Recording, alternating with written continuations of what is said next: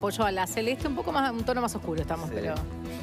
Contento, eh, quiero agradecer, si, si me permiten, a- al doctor, al neurocirujano Eduardo, Edgardo Espanuolo y al anestesista Al- Alberto Sánchez, que el martes operaron a mi sobrina una operación muy complicada y lo hicieron de una manera espectacular, seria y, y en nuestro país, ¿no? que siempre eh, por ahí uno va al exterior y bueno, eh, se decidió hacerla acá la operación y fue espectacular. A Walter Pereira, a su secretaria Andrea, a todos que nos trataron muy bien y por suerte mi sobrina está en el CTI ahora, pero eh, con un pronóstico muy bueno y bueno, los padres están muy contentos y toda la familia estamos eh, muy agradecidos a todas estas personas que hicieron posible esto. Bien, me Muchas alegro, gracias. Marce, entonces que todo haya salido bien, que se siga recuperando y un abrazo a todo el equipo médico. Entonces, vamos a hablar ahora de la Copa América. Presenta SMI, Servicio Médico Integral, la mutualista más sana. Bueno, se viene un partido importante para esta noche sin Suárez al final. Sí, sin Suárez y yo creo que Suárez no va a estar ni siquiera el partido que viene. El maestro lo dejó muy claro que los tiempos para, la, para el problema que tiene Suárez no dan y no lo van a apurar porque la lógica sería mm, lo necesitamos a Suárez porque es un partido que si no ganamos quedamos afuera de la Copa. Está- para mí lo que hace el maestro está bárbaro, no lo va a apurar y bueno, tiene que jugar con otras armas, que ya lo ha hecho en varios partidos en la eliminatoria Sí. porque no tenemos que olvidar que empezamos la eliminatoria sin Suárez y nos fue muy bien. Le ganamos a Bolivia en Bolivia, le ganamos a Chile y a Colombia en el Estadio Centenario y así arrancó Uruguay la eliminatoria. Con partidos donde, si querés, se prestaba un poco más el juego para lo que le gusta más a Tavares, ¿no? Cortar los circuitos del otro y de ahí salir. Hoy es un partido para proponer, ese es el, el gran, el Sí, gran pero tema, eso ¿no? es. Uruguay nunca propone. Por eso, o ese sea es el que gran tema. no va a proponer. Lo que va a hacer Uruguay, creo yo, por los cambios que está armando el maestro. Para mí, el Tata va a jugar por izquierda, Arevalo Ríos va a jugar de 5 y Sánchez por derecha. Y sí, Gastón Ramírez para mí va a ser el enganche del equipo con Estuani y con Cavani de punta.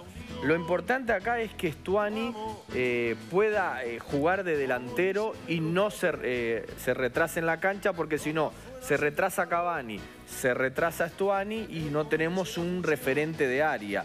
Para mí por ahí pasa que Uruguay pueda tener eh, mayor llegada al arco de Venezuela, que Venezuela le sirve el empate, o sea que no va a salir a arriesgar Venezuela. Uruguay va a salir a arriesgar, pero como nos tiene acostumbrado el maestro, cuidando la mitad de la cancha y viendo a ver si podemos convertir algún gol para que Venezuela se pueda soltar. Un partido que, que está bravo desde el punto de vista de que no ganar casi que nos deja fuera y tal vez sería el primer gran fracaso de este proceso, que ahora fuera una primera rueda de Copa América, digo, para lo que está acostumbrado Uruguay, ¿no? Sí, eh, Y los rivales que, estaban, que tenían el grupo.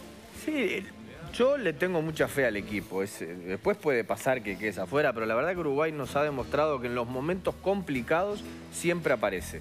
Y seguramente, si logramos pasar el partido de hoy, después va a venir Brasil, va a venir. Argentina y ahí va a aparecer. Chile en cuartos, Y, ¿no? va, y ahí vas a tener a Suárez, vas a tener un equipo con más confianza y. Por eso hoy es, es el partido de la Copa, porque yo estoy seguro que si Uruguay pasa hoy, tenemos muchas chances de ser campeones. De ser te- campeones. de ser campeones. Todo parece indicar que, que no- que en cuartos de final, perdón, vendría Argentina, ¿no? igual, Argentina, el que venga. Con Messi, Uruguay todo. pasa hoy, porque fíjate que después el partido que viene es un partido más accesible Sí. y ya después viene Suárez. O sea Ah. que tenés el equipo con confianza y le agregás a Suárez como nos pasó en el Mundial. Y como nos pasó en la eliminatoria ahora con Brasil, que le- levantamos el partido y después ganamos acá en el estadio. El partido es hoy. ¿Cuál es la fortaleza de Venezuela o cuáles son para vos las fortalezas de Para mí lo mejor que tiene es el delantero, Rondón, y después tiene un jugador que juega en Atlético Nacional que se llama Guerra, que es muy inteligente y muy bueno, que es el que habilita a Rondón. Seijas que juega por izquierda, que jugaba hasta el año pasado con Peluso en, Santa Fe. Es un jugador interesante, un poco livianito.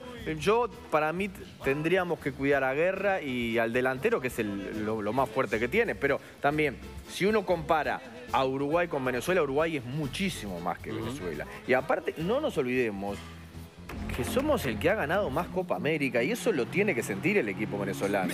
El otro día para mí el partido contra México es un partido raro que el resultado de 3 a 1 no fue el que el que se tenía que haber dado. Pero se notó lo anímico, ¿no? Cómo Uruguay México hizo un mal partido, Sí. pero es, es lógico. que Aún pueda- así, con un mal partido de Uruguay y habiendo quedado con 10 en el primer tiempo, en el segundo tiempo, por ese factor que tiene más que ver con la camiseta, ir a buscar, la personalidad de los Sí. jugadores, lo fue a buscar, lo empató, incluso con 10 eh, durante buena parte del segundo tiempo lo metió dentro del Claro, arco pero México.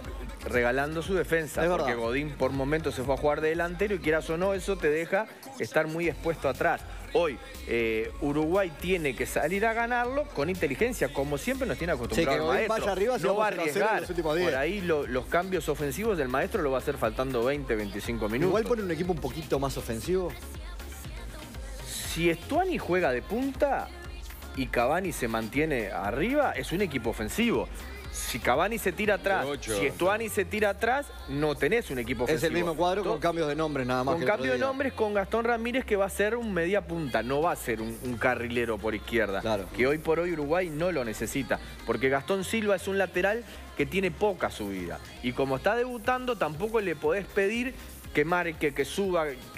Para mí lo que le tenés que pedir que esté en su zona, que trate de que no lleguen por ese sector y después los que están de mitad de cancha hacia arriba se encarguen de generar Sí. el fútbol. Ataque por izquierda, entonces poca cosa vamos a tener porque. Eh, yo creo que va ser- el Tata va a estar por el lado izquierdo y va a ser el, el- el que va a contener esa zona, pero no vas a tener por el otro lado que tenés a Sánchez que va a ir, va a tirar centros, va a buscar... Claro, es por ahí la llave de Uruguay. de No, repente. por la llave está por el medio, porque Ajá. que la pueda agarrar la pelota Gastón Ramírez y que pueda habilitar a los Sí, puntas. Marcelo, ayer se jugó una segunda fecha del grupo B. ¿no? Brasil por fin abrió la canilla y hizo siete goles. Haití, que es el bollo de la, Sí, sí, de la. Copa América, ¿no? 7 a 1 y el otro partido que estuvo interesante, al parecer yo no puedo ver nada, fue el empate 2-2 de Ecuador con Perú. Iba ganando Perú y se lo empató. Iba ganando Ecuador. 2 a 0 Perú y Ecuador de atrás se, se lo empata y en ese grupo está parejo el segundo lugar. Brasil va encaminado a Claro. clasificar primero y el segundo lugar está un poco más peleado. Sí, la Copa recién empieza la semana que viene para todos los que nos gusta, la- porque es donde los equipos se Claro. empiezan a acomodar y empiezan a...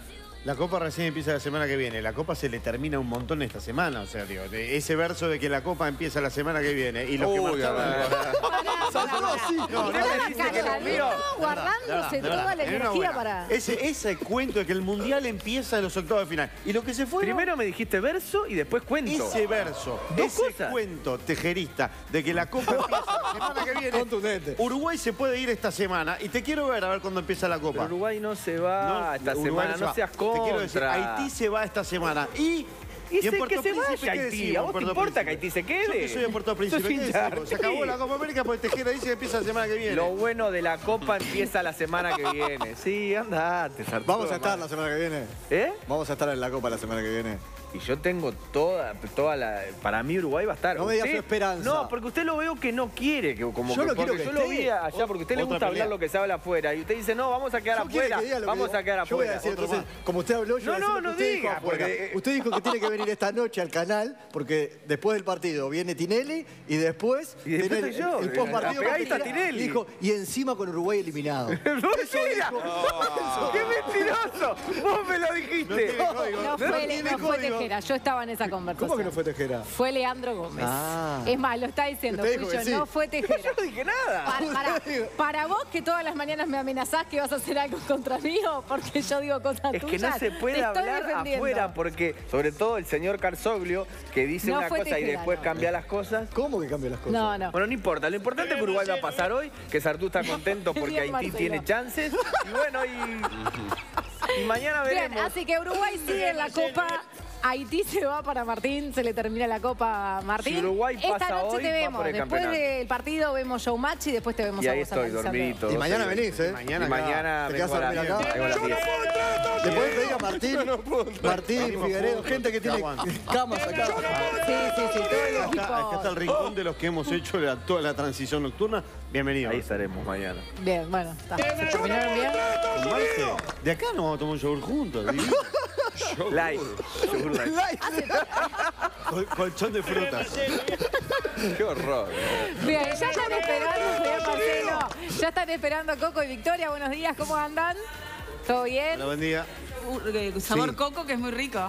Si quieren- ¡Ah, es verdad! Me, pare- me parece que lo que están tomando ustedes no es justamente eso. ¿eh? De igual forma, Tenés razón. Bien. estábamos pegando muy arriba en el rating, chicos. Pueden seguir un ratito más adelante. Bueno, ¿estás un poquito mejor, Coco? Sí, había una película que se llamaba Lo que resta del día y esto es lo que queda del coco. Este, pero bueno, yo creo que con suerte una afeitada me queda, llego al fin de semana. Bien, ahora que dijiste el yogur del coco, cada vez que dicen coco me acuerdo de coco. ¿Te hablan así ahora por la calle, Coco? ¿Cómo? ¿Te hablan así? Sí, me han dicho cada cosa. ¿Tenés tiempo? Después, después, te tengo un poco de miedo. Sí, no, tendríamos que hacer el programa a las 11 de la noche. Ahí va. Eh, te regalaste, Coco. Venimos, venimos al post partido con Tejera y charlamos. Me gusta, me gusta mucho la, la combineta que tienen hoy, ¿no? Están con un azul muy Toda la- particular. la La ¿eh? paleta cromática es... Qué lindo, ¿no? La paleta de colores está espectacular. Sí. Es el, es el color del canal de la emoción. el. Pará, y esa es la bandera de Holanda, ¿no? Sí, O la de sí, Nacional. tal cual, tal ah, cual. no, eh, porque es marrón al medio. Que Es no, marrón, es marrón. Que no, no lo comentes porque no está en esta copa, ¿no? Digo, ¿Quién? Holanda. no, no, pues no Holanda, la Eurocopa quedamos No. fuera, de verdad. Quedamos. Fuera también. No sos hincha de Haití, Ay, de Holanda, menos de Uruguay, Es sos hincha de todo, Es ¿no? fanático del H. Soy holandés, haitiano y ta. Y de Sagasartú. Y esa- Es Agasazú, pero nos gusta llamarlo así, con la unión de apellido y lugar. Bueno, les cuento que hoy nos acompaña nuevamente Paola durante todo el programa haciendo el aguante. Es la barra brava, Paola, me encanta. Está totalmente descompensada. ¿eh? Eh, Virginia Dobrich también va a Ay, estar- ahí estaba. ¿Qué pasó? ¿Te pegaste? No. Casi rompe toda la cocina, Juicio no ahí, sé. ¿eh? Juicio en la Dios. cocina. Eh, Virginia Dobrich va a estar con nosotros, va a estar comentando sobre el tema del baile en el Showmatch, en Hoy- la pista de Showmatch. Sí, y tenemos cual, a Andy a ver, ya desde que Buenos tiene Aires toda la también. experiencia, ¿no? Obviamente. Vamos a estar con Ale Figueredo también, de Sí. ¿Qué más? También haciendo, bueno, los preparativos del partido.